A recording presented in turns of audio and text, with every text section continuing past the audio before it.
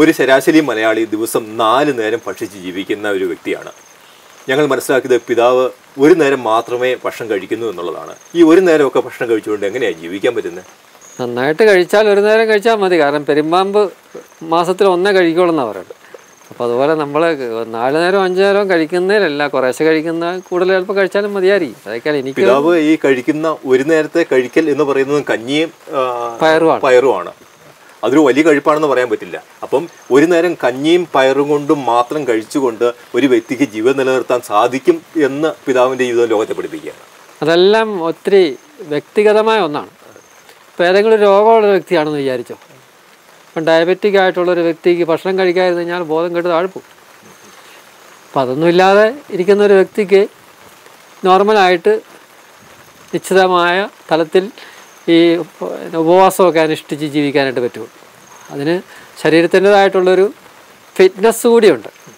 അപ്പോൾ അത് ഇല്ലാത്ത ഒരാൾ അതിന് വേണ്ടി പോയിട്ട് കാര്യമില്ല. ഉള്ളവരത് ചെയ്താൽ നല്ലതാണ് അത്രേ ഉള്ളൂ. ഞങ്ങളിവിടെ എത്തിച്ചേർന്നപ്പോൾ പിതാവ് ഞങ്ങൾക്ക് വളരെ സമൃദ്ധമായിട്ടുള്ള ഭക്ഷണം ഞങ്ങൾക്കായി ഒരുക്കി. ഇത് ഞങ്ങൾ വരുന്നത് കൊണ്ട് പിതാവ് നേരത്തെ ഒരുക്കിയതാണോ? പിതാവ് തന്നെയാണോ ഇത് ഭക്ഷണം പാകം ചെയ്തത് എന്നൊക്കെ അറിയാൻ താല്പര്യമുണ്ട്. ഭക്ഷണം തന്നെ പാകം ചെയ്യണം. അത് നിങ്ങൾ വന്നപ്പോൾ ഇവിടുത്തെ എല്ലാ ദിവസവും ഒരു പാത്രം കഞ്ഞി റെഡിയാക്കുക എന്നുള്ളതാണ്. കഞ്ഞിക്ക് കറിയായിട്ട് പയറും ഉണ്ടാവും. ഇത് സാധാരണ ഇവിടെ വരുന്നവർക്ക് രാവിലെ വെക്കുന്ന കലത്തിൽ ആ കലം തീര കഞ്ഞി തീരുന്നവരെ കൊടുക്കും. ഈ ആഹാര സാധനം ഉണ്ടാക്കാനായിട്ടുള്ള സാധനങ്ങളൊക്കെ എവിടുന്നാണ് വാങ്ങിക്കുന്നത്? അതിവിടെ ആളുകൾ ആരെങ്കിലും കൊണ്ടുവരിക ചെയ്യുന്നത് നമ്മൾ അങ്ങനെ ഒരു ജീവിതശൈലിയാണ്. ഈ ഏകാന്തതാവസ്ഥ ജീവിതത്തിൽ സ്വയം പര്യാപ്തത ഒന്നും ഒന്ന് ഇല്ല. അപ്പോൾ ആരെങ്കിലുമൊക്കെ ഇവിടെ കൊണ്ടുവരുന്ന സാധനങ്ങൾ കൊണ്ട് ജീവിക്കുക എന്നുള്ളതാണ്. പിതാവിനെ കാണാൻ വരുന്നവർ ഇത്തരത്തിലുള്ള സാധനങ്ങളൊക്കെ ആയിട്ട് ആണ് വരുന്നത്. കൊണ്ടുവരാതിരിക്കണമെന്നാണ് എന്റെ പ്രാർത്ഥന. കൂടുതൽ സാധനങ്ങളാണ് എപ്പോഴും ഇവിടെ ഇരിക്കുന്നത്.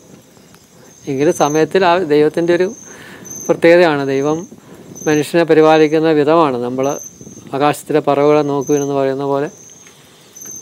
ഇതൊന്നുമില്ലെങ്കിലും ദൈവം എല്ലാം അറിഞ്ഞ് വേണ്ട കാര്യങ്ങൾ വേണ്ട പോലെ ചെയ്യുന്നു. പിതാവിന്റെ ഒരു ദിവസത്തെ ദിനചര്യകൾ എങ്ങനെയാണ് എന്ന് വെളിപ്പെടുത്താമോ? മൂന്ന് മണിക്കുള്ള ഒരു പ്രാർത്ഥനയാണ്. ആദ്യ യാമം. ഏഴ് യാമങ്ങൾ ഉള്ള പ്രാർത്ഥനാ സഭയ്ക്കുണ്ട്. അപ്പോൾ സമയത്തിന്റെ വിശുദ്ധീകരണം മനുഷ്യജീവിതത്തിൽ വളരെ പ്രധാനമായതുകൊണ്ടും അങ്ങനെ ദൈവത്തിന്റെ വലിയ അനുഗ്രഹമായിട്ട് മനുഷ്യന് ലഭിച്ചിരിക്കുന്ന സമയത്തെ ദൈവം ആഗ്രഹിക്കുന്ന വിധത്തിൽ ചിട്ടപ്പെടുത്താനും ഒക്കെ പ്രാർത്ഥിച്ച് സമയത്തെ വിശുദ്ധീകരിക്കുക എന്നുള്ള ഒരു കർമ്മത്താലാണ് സഭ യാമപ്രാർത്ഥനകൾ രൂപപ്പെടുത്തി തന്നിരിക്കുന്നത്. പ്രത്യേകിച്ച് പൗരസ്ത്യ താമസ ജീവിതത്തിൽ ഈ യാമ പ്രാർത്ഥനകൾക്ക് വലിയ പ്രാധാന്യമുണ്ട്. എല്ലാ യാമങ്ങളിലും പ്രാർത്ഥിച്ച് ഉള്ള ഒരു ആത്മീയ ജീവിതചര്യയാണ് പൗരസ്ത്യ ആധ്യാത്മികത അനുവർത്തിക്കുന്നത്. അപ്പം അതിന് പ്രകാരം മൂന്ന് മണിക്കുള്ള ആദ്യ യാമം പ്രാർത്ഥനയോടുകൂടി ഈ ജീവിതം ആരംഭിക്കുന്നു. അതിന് മുമ്പ് തയ്യാറാകാൻ വേണ്ടിയിട്ട് ഒരു മണിക്കൂർ മുമ്പ് രണ്ട് രണ്ട് മണിക്കൂർ കൂടി നമ്മൾ എഴുന്നേക്കണം എല്ലാ ദിവസവും രണ്ട് മണിക്ക് എഴുന്നേക്കും അപ്പോൾ കിടക്കുന്ന സമയം? ഒൻപതര ശേഷം കിടക്കാം.